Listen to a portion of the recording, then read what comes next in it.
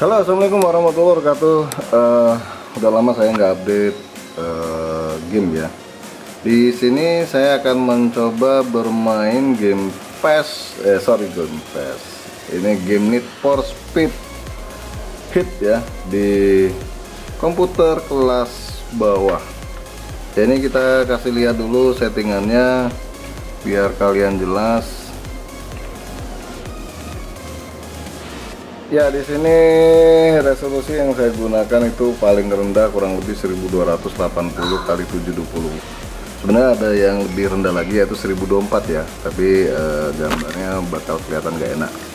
Makanya di sini saya mencoba resolusi di tengah-tengahnya ini. Eh, terus di bagian vertical sync atau facingnya saya bikin off. Kemudian motion blur, eh, motion blur, motion blurnya itu di off ke dan grafik kualitinya di low. Sekarang coba kita lihat uh, playing solonya. Ya ini bagi kalian yang belum yakin spek yang saya gunakan saya kasih lihat terlebih dahulu ya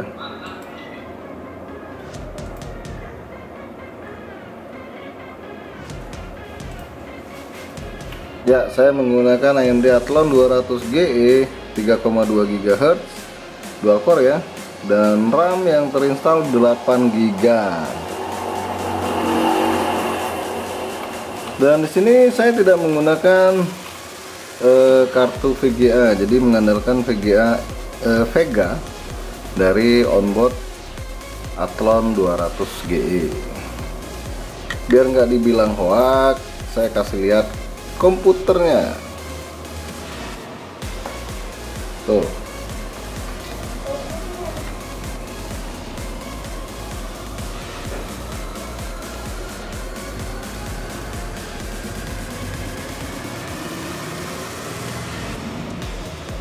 Ya saya kasih lihat gambaran seperti ini biar kalian yang mau meminang komputer dengan mengandalkan VGA onboard eh, kurang lebih bayangannya kemampuan gamingnya seperti ini.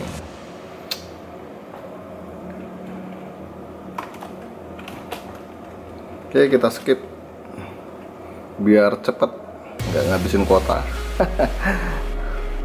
Ya eh, kalian bisa lihat dari gambar bahwa frame rate nya cuma belasan fps ya eh, luar biasa.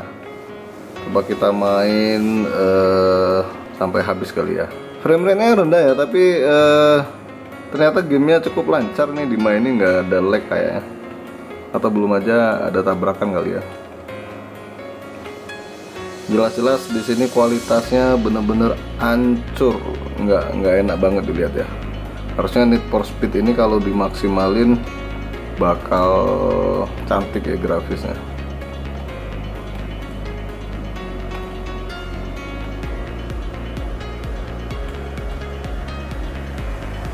Weh, sempat ngadat ya.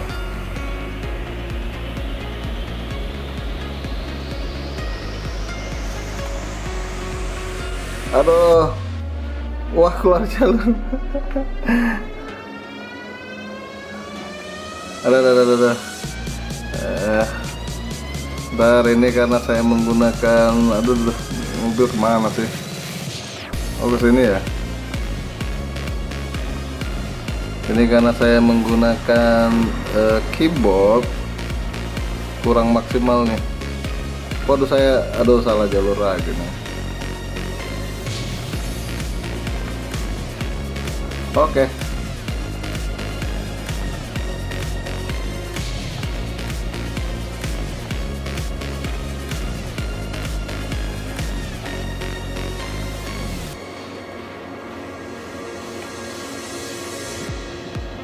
Wih ditabrak dari belakang.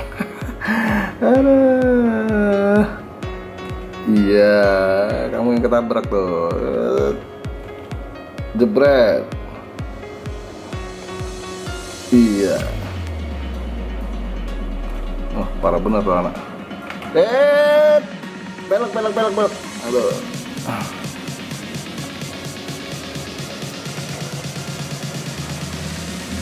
pokoknya hancur semua ya. Ini tabrakan mobilnya udah nggak puan bentuknya. Tapi uh, ternyata even fail you didn't not finish. Ya uh, hasilnya cukup apa ya sebenarnya cukup lumayan ya. Untuk uh, prosesor kelas murah kemudian lagi RAM sekarang kan udah murah nih. Jadi uh, cukup bisa diandelin buat main game tapi dengan uh, mata yang cukup sakit karena resolusinya ya. Kemudian uh, grafisnya yang memang cukup rendah. Yaudah itu aja ya guys. Uh, review game Need for Speed Hit di prosesor AMD Athlon 200 GE dengan konfigurasi RAM dual channel 8GB DDR4 ya jangan lupa uh, di subscribe like and share apabila video ini bermanfaat. Makasih udah mampir di NK channel